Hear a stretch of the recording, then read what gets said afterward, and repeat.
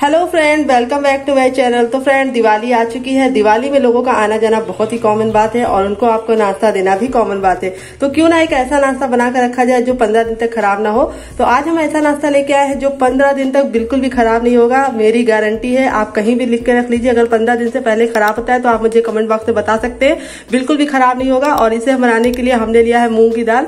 और इस तरह से हमने जो मूंग की दाल है, इसको अच्छे से सोख करके लिया है। कम से कम ओवरनाइट आपको इसको सोख कर लेना है। अगर आपके पास इतना टाइम नहीं है तो कम से कम चार घंटे तो आपको इसे अच्छे से सोख करना है। और फिर इसके बाद सारा का सारा पानी इसका बिल्कुल निकाल लेना है। पानी बिल्कुल भी दाल में नहीं होना चाहिए, इस तरह से ड्राई दाल होनी चाहिए। और मैंने स्किन वाली लिया आप चाहे तो धुली दाल भी मूंग की इस्तेमाल कर सकते हैं।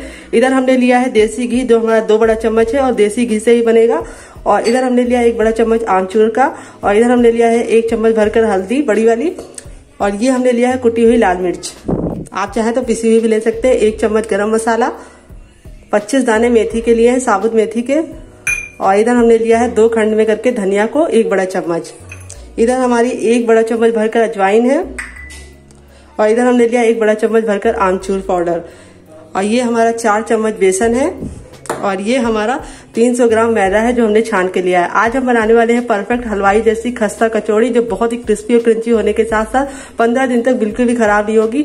तो मैं जिस चीज़ से बना रही हूँ, उसी चीज़ों से बनाइएगा। उसी टिप्स को फॉलो कीजिएगा, आपका रिज़ल्ट बहुत ही अच्छा आएगा। तो सबसे पहले हम क्या करेंगे, एक मिक्सी का जार ले लेंगे और दाल को पीस लेंगे। दाल में बिल्कुल भी पानी नहीं होना चाहिए। अगर पानी होगा तो आपका जो पूड़ी है, सॉरी, कचौड़ी है, वो खराब हो जाएगी। तो चलिए इसको हम पीस लेते हैं। तो फ्रेंड इस तरह से हमने दाल को ट्रांसफ़र कर लिया है। दाल को हमें बिल्कुल बारीक नहीं करना है, बस दो बार मिक्सी चलाकर बंद कर देना है। हल्के से इसको क्रैश करना है बस। तो हम करके लेके आते हैं, आपको दिखाते हैं कितनी दरदरी दाल होनी चाहिए आपके साथ। तो पीस के ले आते हैं। तो फ्रेंड देखिए, दाल मैंने पीस लिया है और दाल को मैंने कितना दरदरा रखा है आपको दिखा रहे हैं। तो इस तरह से आपकी दाल होनी चाहिए। पानी का बिल्कुल भी इस्तेमाल नहीं करना है पीसते समय। नहीं तो आपकी मुँह की जो कचौड़ी है, वो आप स्टोर नहीं कर पाएँगे। तो इस तरह से देखिए, हमारी दाल हो गई रेडी और इसे हम साइड में रख देंगे और पहले हम आटा लगा लेंगे। क्योंकि आटे को फूलने का टाइम मिल जाएगा तो चलिए सबसे पहले हम आटा लगा लेते हैं। तो इसे साइड में रख देंगे और जब तक हम इसे तैयार करेंगे, आटा हमारा फूल जाएगा।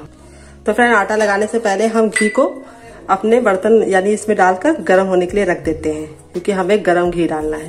तो इस तरह से हमने रख दिया है, अब इसको गर्म कर लेते हैं।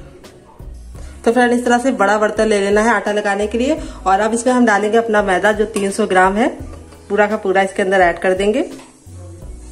और मैदा डालने के बाद अब हम लेंगे अजवाइन, जो एक बड़ा चम्मच है इस तरह से, और इसको अच्छे से मसलते हुए इसके अंदर ऐड करेंगे। अजवाइन ज़रूर डालना है, बहुत ही अच्छा टेस्ट लाएगा। फिर इसके बाद अब इसमें हम डालेंगे नमक। तो फ्रेंड एक चम्मच भरकर इसके अंदर जाएगा नमक, क्योंकि नमकीन होनी चाहिए और अब इसको हम मिला लेंगे। और अब हम अपना जो हमने घी गर्म होने के लिए रखा था, वो हम इसके अंदर ऐड कर देंगे। तो देखिए, घी हमारा अच्छे से गर्म है और इसके अंदर इस तरह से डाल देते हैं। और अब हम चम्मच से मिक्स करेंगे।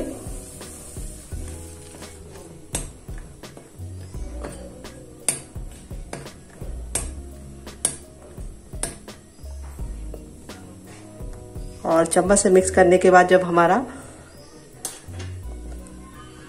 हम अपने हाथ से इसको मिक्स करेंगे और इसको अच्छे से मसल लेंगे ताकि सारा मोवन हमारे आटे के अंदर लग जाए।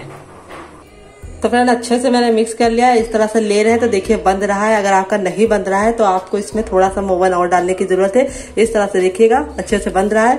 तो अब हम थोड़ा थोड़ा सा पानी ऐड करके इसका एक आटा लगा लेंगे। और आटा बहुत ज़्यादा टाइट नहीं होना चाहिए, बहुत ज़्यादा सॉफ्ट भी नहीं हो जाए तो मीडियम साइज़ का सॉरी मीडियम तरीके से लगाएँगे और अच्छे से मसलते हुए लगाएँगे। तो इस तरह से एक हाथ से पानी डाल लें, दूसरे हाथ से अच्छे से मसलते जा रहे हैं।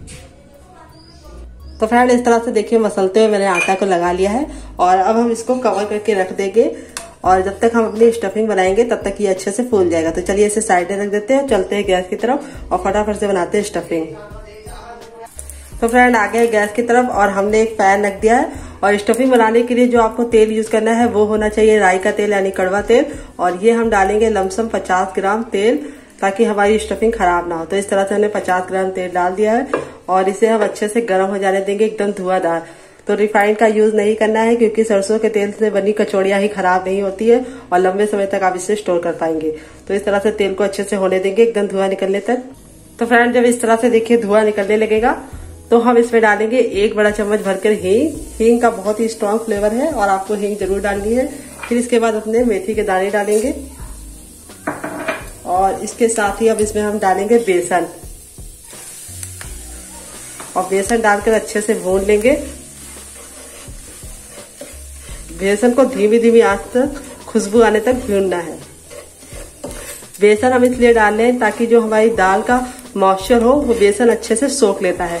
और जो हमारी स्टफिंग होती है, बहुत ज़्यादा ड्राई बनती है, तभी हम इसको सेव कर पाते हैं। तो इस तरह से हमने दो बड़ा चम्मच बेसन लिया है और इसको हम अच्छे से भून लेंगे। तो बेसन को भूनने में बिल्कुल भी टाइम नहीं लगता है, मुश्किल से एक मिनट लगता है। और बराबर कंटिन्यू चलाते रहिए इस तरह से।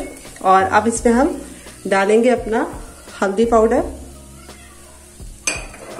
फिर इसके बाद जाएगा लाल मिर्च पाउडर जो हमारा कुटा हुआ है, आप पिसा हुआ भी ले सकते हैं।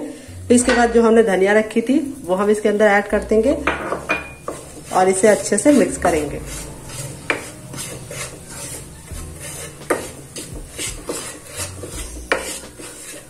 और अब इसमें हम डालेंगे एक चम्मच जीरा।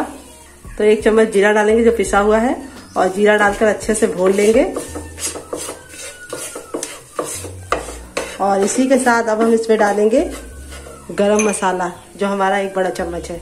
इसको भी ऐड कर देंगे और सारी चीज़ों को हम अच्छे से भून लेंगे। तो देखिए, मसालों की और बेसन की एक धीमी धीमी सी खुशबू आने लगी है।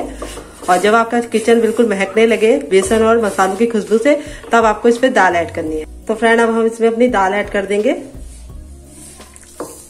सारी की सारी जो हमने पीस के रखी है। और दाल को अच्छे से इसके अंदर मिक्स कर लेंगे। सारी चीज़ों के साथ। और दाल को हमें दो मिनट तक पकाना है। तो देखिए, बेसन जो हो, जो था, उससे हमारी दाल बिल्कुल देखिए ड्राई होना अभी से शुरू हो चुकी है और सारी नमी हमारा बेसन खींच लेगा। तो अब हम इसे अच्छे से मिक्स कर लेंगे। तो फ्रेंड देखिए, दाल एकदम अच्छे से ड्राई हो चुकी है और ये कमाल बेसन का ही है। अगर आप बेसन नहीं डालते, मूंग की दाल बिल्कुल पानी पानी सी हो जाती और अब इसे पकने में बिल्कुल भी टाइम नहीं लगेगा, मुश्किल से एक मिनट लगेगा। अब इसमें हम कुछ और चीज़ें ऐड करेंगे जो हमारी कचौड़ी को बहुत ज़्यादा अच्छा टेस्ट लाएँगी। तो अब हम इसमें डालेंगे एक चम्मच आमचूर।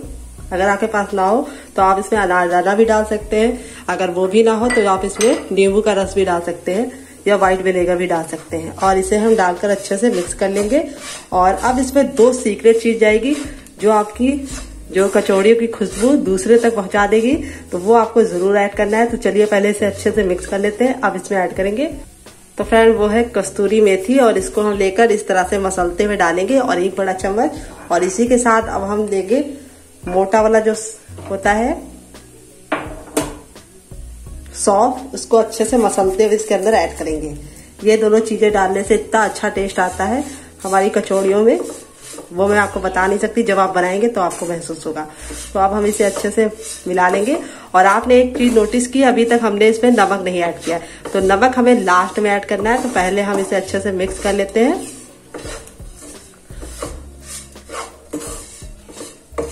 इस तरह से हो गया मिक्स अब इसमें एक इंपॉर्टेंट चीज़ आएगी, जो आपको कचौड़ी खाने के बाद एक बिल्कुल अच्छा सा टेस्ट आपके मुँह पे बाद में रहता है। उसके लिए हम डालेंगे कुटी हुई दरदरी काली मिर्च।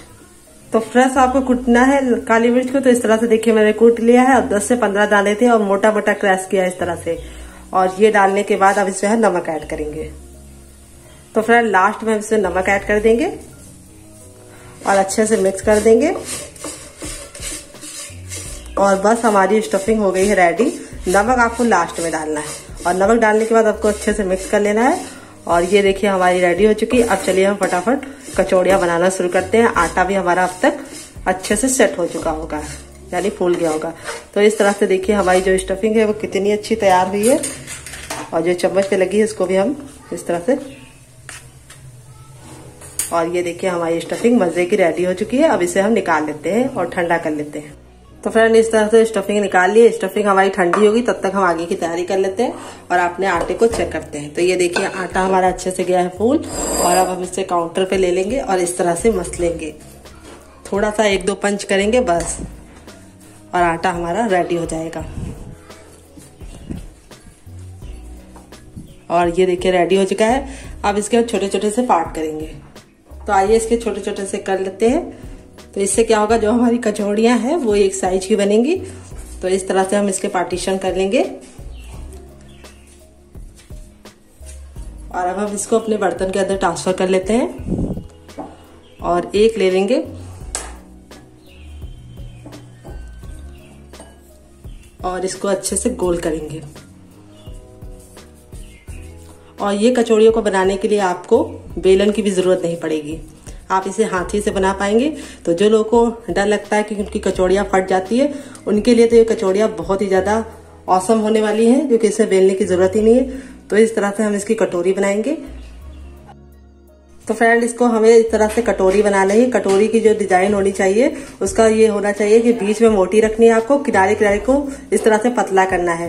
और जब हमें फिल करना है तो इसलिए इसका मोटा होना चाहिए और इस तरह से गहरी कटोरी बना तो फ्रेंड इस तरह से देखिए कटोरी होनी चाहिए। बीच से हमारी कटोरी जो है कितनी अच्छे से गहरी है। बिल्कुल कटोरी का शेप लेना है और ऊपर से हमें पतला कर लेना है। अब हम इसके अंदर स्टफिंग को फिल करेंगे। तो जितना अमाउंट में आप चाहे फिल कर सकते हैं। तो इसमें अच्छे से फिल कीजिए।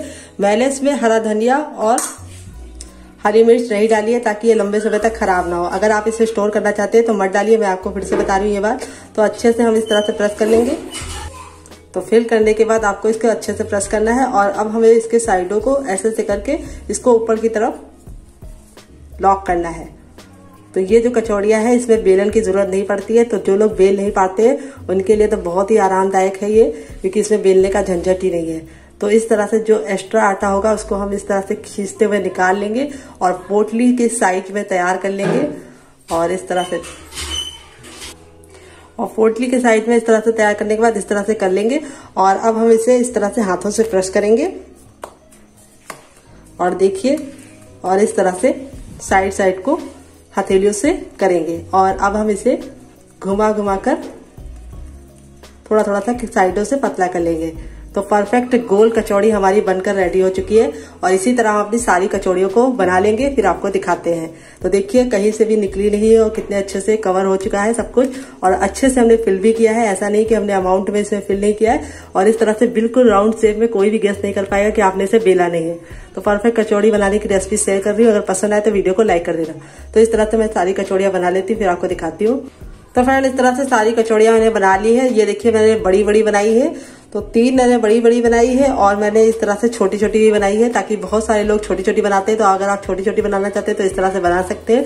तो दोनों साइज़ की मैंने बनाई है, बच्चों के लिए छोटी वाली और बड़ों के लिए बनाई है बड़ी वाली। तो चलिए चलते हैं इसे, बनाते हैं। तो फ्रेंड आ गए गैस की तरफ़ और हमने तेल को गर्म होने के लिए रख दिया था। तेल हमारा जब अच्छे से गर्म हो जाएगा, तब हमें इसमें अपनी कचौड़ियों को इस तरह से डाल देना है। बिल्कुल हल्के हल्के हाथों से। तो पहले हम बड़ी वाली फ्राई करेंगे, फिर हम छोटी वाली बनाएँगे। तो इस तरह से हम कचौड़ियों को धीमे धीमे पकने देंगे और साइड में हम एक छोटी भी रख देते हैं।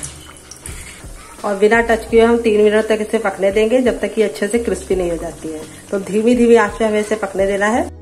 तो फ्रेंड देखिए, तीन मिनट बाद ये कितने अच्छे से फूल चुकी है। तो अब हम इसकी साइडों को बदल देंगे इस तरह से। और जब ये बीच से क्रैक होने लगती तो समझ जाइए कि अच्छे से डन हो चुकी है। और ये देखिए कितना अच्छा कलर आ गया है। तो इस तरह से हम इसको चेंज कर देंगे और दूसरी साइड से भी अच्छा सा करारा कलर आने तक फ्राई करेंगे। तो फ्रेंड तीन मिनट हो चुका है, ये दूसरे साइड से भी देखते हैं।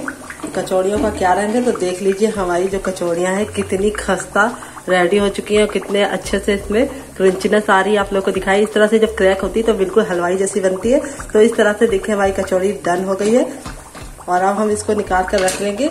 और बाकी बची कचौड़ियाँ भी इसी तरह से बिल्कुल फ्राई कर लेंगे, फिर आपको लास्ट में दिखाते हैं। तो चलिए, ये वाली भी मैं फ्राई कर लेती हूँ। तो तेल को हम फिर से गर्म हो जाने देंगे और अपनी बाकी बची कचौड़ियों को भी इस तरह से डाल देंगे और तीन मिनट तक बिल्कुल भी टच नहीं करेंगे, फिर इसके बाद हम इसे पलटेंगे। तो फ्रेंड ये देखिए हमारी कचौड़ियाँ बनकर रेडी हो चुकी हैं और कितनी खस्ता बनी है, ये देखिए कितनी फूली फूली सी बनी है, आप लोग देख सकते हैं। कोई नहीं गेस कर पाएगा कि आपने इसे घर में बनाया है, लोग समझेंगे आपने मार्केट से मंगाया है। देखिए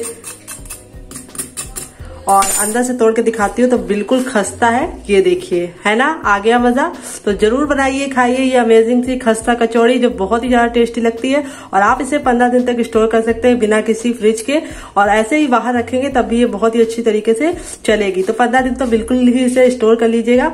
मिलते हैं नेक्स्ट वीडियो में। तब तक अपना ख्याल रखिए। वीडियो में कुछ भी अच्छा लगे तो वीडियो को लाइक कर दीजिएगा शेयर कर दीजिएगा और ये खस्ता कचौड़िया दिवालियों पर ज़रूर बनाइएगा और अपने मेहमानों को खिलाकर खुश कीजिएगा। और वीडियो में कुछ भी अच्छा लगा तो प्लीज़ एक लाइक दीजिएगा। मिलते हैं नेक्स्ट वीडियो में, तब तक अपना ख्याल रखिए। वीडियो को ज़्यादा ज़्यादा लोगों में शेयर कर दीजिएगा। और नोटिफिकेशन बिल को ऑन करना मत भूलिएगा। और ये खस्ता कचौड़िया बहुत ही ज़्यादा फूली फूली सी और भरी भरी सी बनी है। तो मिलते हैं नेक्स्ट वीडियो में। Bye take care